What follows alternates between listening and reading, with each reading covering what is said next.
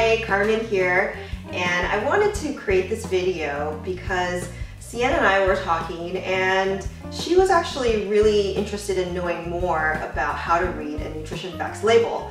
And being a dietitian and having a background in nutrition, I said, well, okay, why don't we do that? I have two different items here. One is instant ramen, which I'm sure that most of you have had before. It's like the dry noodle packages that you put in boiling water and you have a soup base and it's instant noodles. And we're gonna go over the nutrition facts label for that and then also for some pasta. A lot of people, they get really confused about the nutrition label. They don't really know how to read it, they don't really understand it, but there's actually a lot of information on this label that you maybe you're not aware of. So the first thing you want to do is look at the serving size of the package. Okay, serving size could actually be very misleading because the serving size could be a very, very small amount. It might be like half of a cookie or one tablespoon of something. And it's, it might not be the actual quantity that you would eat in that particular setting but it's something for you to be aware of because that serving size determines all of the, the grams of fat, the grams of um, carbohydrate that's in that particular amount. So be very, very careful when looking at the numbers here. So this serving size is one package. And then you can also look at servings per, per, per container. So this one has five. Makes sense because there's five packages. And for one of these packages, the total fat for one package of instant ramen is 23 grams of fat. And that is 20%, 26% of your daily value. So that's based on a 2000 calorie diet. Not everybody should be having 2000 calories. Some people should be having less and some people should be having more. So it's kind of just a rough estimate of how much fat um, coming from this one package is contributing to how much you should be having in one day. What's your daily um, requirement for fat or daily requirement for any of these other um, ingredients. So 23 grams of fat and underneath it, the fat will be broken up into saturated fat or trans fat. Now saturated fat is the bad fat and then you have your trans fat which is a man-made fat but is also bad for you. And so they put them on the, the label because, well, they want to inform you that these are the fats that you should look out for. So this saturated fat content is 10 grams of fat and the trans fat is zero grams.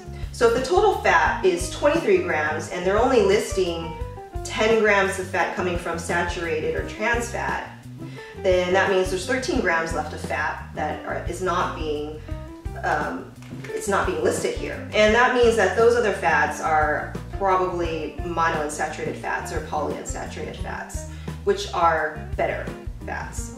Um, although polyunsaturated fats, there are some good and bad ones. But I think it's important to look at that total fat because this one, 26% of your daily value is kind of high. That's, that's a lot coming from just one of these packages. And that's not incorporating all the rest of the food that you're eating throughout the day. The next line is the cholesterol, and that's often something that we're concerned about as well. You want to eat less of that.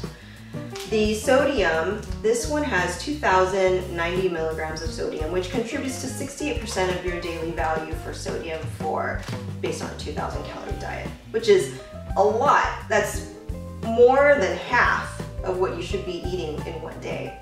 So 2,090 milligrams, that's about a teaspoon of salt. When we're talking about carbohydrate, and let's take a look at this rotini pasta, the total carbohydrate for this, um, which is two ounces or about one eighth of the box, is 42 grams of carbohydrate, and that's 14% of your daily value. The ones that are focused on here is the dietary fiber. And dietary fiber can be broken down into soluble and insoluble fiber. Both have uh, unique um, properties when it enters the body, but both are very good for you.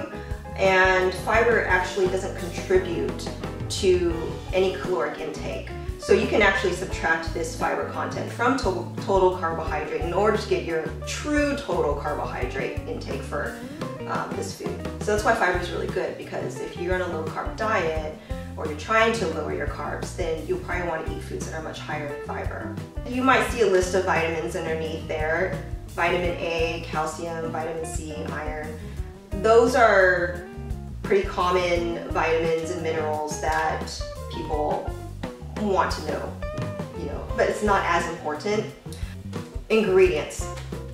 Ingredients is good to look at, especially if there's certain ingredients that you want to avoid or that you don't want to take in. Um, a lot of times if you're looking for something that's very natural, it will have very little ingredients because there's less additives. One thing that you should know is that the very the order in which um, nutrients are listed is based on what is the highest concentration in the package. So for example, the first ingredient is enriched wheat flour. So that means there's a lot of enriched wheat flour. It goes in order of content. So that's a one way that you can look and say, well, does this have a lot of MSG in it? And if you look at the soup base, the MSG is actually the second ingredient, meaning that's probably a lot. You know, a lot more in there than there is this citric acid or riboflavin, which is at the bottom of the ingredients. So that's something to be very aware of. So I hope you learned a lot about how to re read the nutrition facts. And I think that by just understanding just carbohydrate or fats, fiber, sodium, that can help you with trying to figure out whether something is going to um, be in line with your nutrition goals or if it's not. And so something like a fruit or vegetable obviously doesn't have a nutrition facts label, but for a lot of processed foods and a lot of packaged foods, it's gonna have to have that information on there. And so you can use that um, to make the best judgment for yourself.